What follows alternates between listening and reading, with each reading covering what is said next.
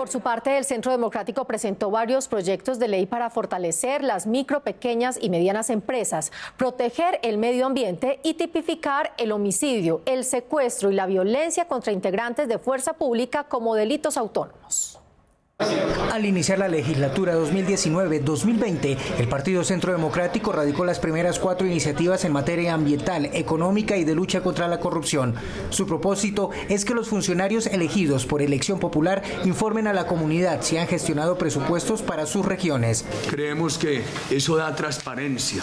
El congresista tiene que representar los problemas de la comunidad, pero no se puede hacer con mermelada corrupta.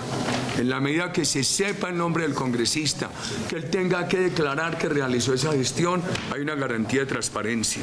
También radicaron un proyecto para que integrantes de la fuerza pública, es decir, militares y policías, condenados por delitos anteriores a diciembre de 2016, puedan tener beneficios de libertad después de cinco años de prisión. Nos parece que en un país que asesina permanentemente, agrede permanentemente, a los soldados y policías, tenemos que hacer esfuerzo como este esfuerzo que propone hoy el Centro Democrático. Para reactivar la economía, otro proyecto busca que por ley los pagos a pequeños y medianos proveedores no demoren en cancelarse, más de 30 y 45 días respectivamente.